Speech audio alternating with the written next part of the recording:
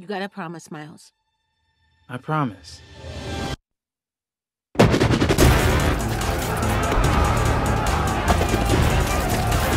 Who do you think you are? Really? We are supposed to be the good guys. We are.